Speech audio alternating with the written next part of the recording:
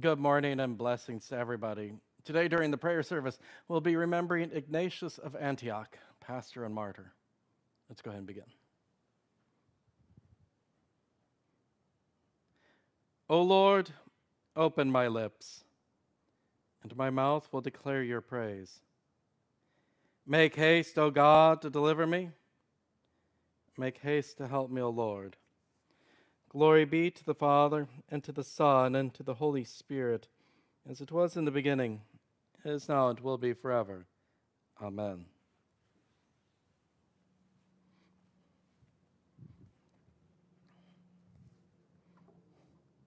Ignatius of Antioch, pastor and martyr. Ignatius was the bishop of Antioch in Syria at the beginning of the second century and an early Christian martyr. Near the end of the reign of the Roman Emperor Trajan, Ignatius was arrested, taken in chains to Rome, and eventually thrown to the wild beast in the arena. On the way to Rome, he wrote letters to the Christians at Ephesus, Magnesia, Tralles, Rome, Philadelphia, and Smyrna, as well as to Polycarp, Bishop of Smyrna. In the letters, which are beautifully pastoral in tone, Ignatius warned against the certain heresies, false teachings. He also repeatedly stressed the full humanity and deity of Christ, the reality of Christ's bodily presence in the Lord's Supper, the supreme authority of the bishop, and the unity of the church found in her bishops. Ignatius was the first to use the word Catholic to describe the universality of the church. His Christ centeredness, his courage in the face of martyrdom, and his zeal for the truth over the, against the false doctrine are a lasting legacy to the church. Psalm 39 O Lord, make me to know my end, and what is the measure of my days. Let me know how fleeting I am. Behold, you have made my days a few handbreadths, and my lifetime is as nothing before you. Surely all mankind stands as a mere breath. Surely a man goes about as a shadow. Surely for nothing they are in turmoil. Man heaps up wealth and does not know who will gather. And now, O Lord, for what do I wait? My hope is in you. Hear my prayer, O Lord, and give ear to my cry. Hold not your peace at my tears. For I am a sojourner with you, a guest like all my fathers. Look away from me that I may smile again before I depart and am no more. Reading from the Gospel according to St. Matthew, the 13th chapter. The kingdom of heaven is like a treasure hidden in a field, which a man found and covered up. Then in his joy he goes and sells all that he has and buys that field. Again, the kingdom of heaven is like a merchant in search of fine pearls, who, on finding one pearl of great value, went and sold all that he had and bought it. Again, the kingdom of heaven is like a net that was thrown into the sea and gathered fish of every kind. When it was full, men drew it ashore and sat down and sorted the good into containers, but threw away the bad. So it will be at the close of the age. The angels will come out and separate the evil from the righteous and throw them into the fiery furnace. In that place there will be weeping and gnashing of teeth. Have you understood all these things? They said to him, Yes.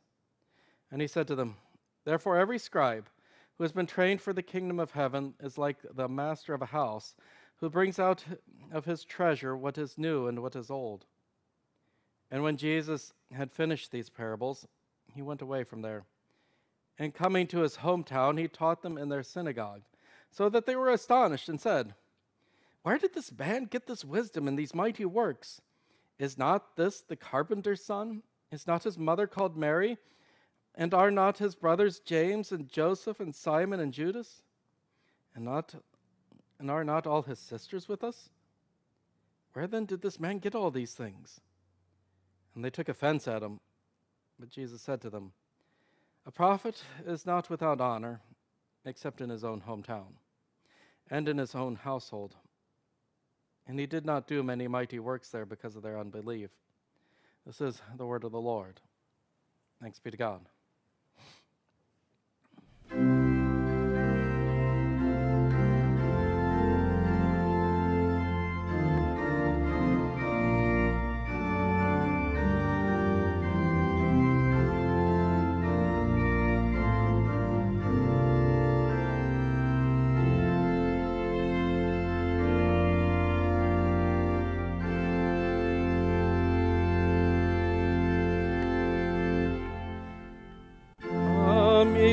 Joyful people come, praise the song of harvest home. All be safely gathered in, ere the winter storms begin. Not our Maker doth provide, for our wants to be supplied, come to God's own of harvest home.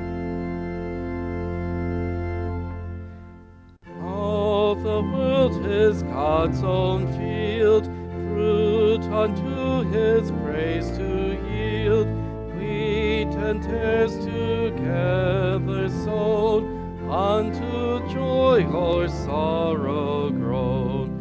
First the plate and then the ear, then the corn shall appear, Lord of harvest, grant that we wholesome, grain and pure may be.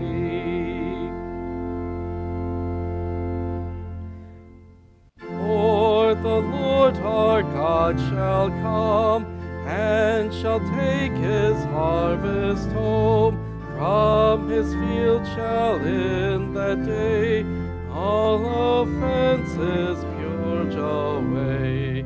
Give his angels charge at last in the fires that tares to cast. But the fruitful is to soar in his garner evermore.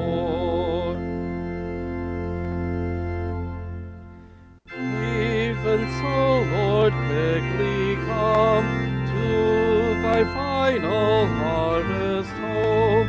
Gather thou thy people in, free from sorrow, free from sin.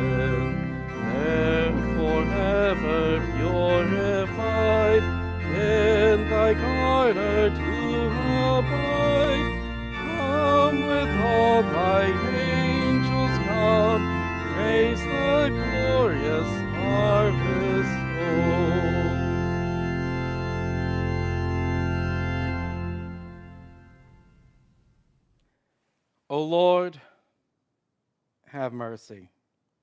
O Christ, have mercy. O Lord, have mercy. Our Father, who art in heaven, hallowed be thy name. Thy kingdom come, thy will be done, on earth as it is in heaven. Give us this day our daily bread, and forgive us our trespasses as we forgive those who trespass against us. And lead us not into temptation, but deliver us from evil. For thine is the kingdom, and the power, and the glory, forever and ever. Amen. I believe in God the Father Almighty, maker of heaven and earth, and in Jesus Christ, his only Son, our Lord, who was conceived by the Holy Spirit born of the Virgin Mary, suffered under Pontius Pilate, was crucified, died, and was buried. He descended into hell. The third day he rose again from the dead. He ascended into heaven and sits at the right hand of God the Father Almighty. From thence he will come to judge the living and the dead. I believe in the Holy Spirit, the holy Christian Church the communion of saints, the forgiveness of sins, the resurrection of the body, and the life everlasting. Amen. Hear my prayer, O Lord. Let my cry come to you. In the day of my trouble, I call upon you, for you answer me. Hide your face from my sins and blot out all my iniquities. Create in me a clean heart, O God, and renew a right spirit within me. Cast me not away from your presence, and take not your Holy Spirit from me. Restore to me the joy of your salvation, and uphold me with a willing spirit. Because your steadfast love is better than life, my lips will praise you.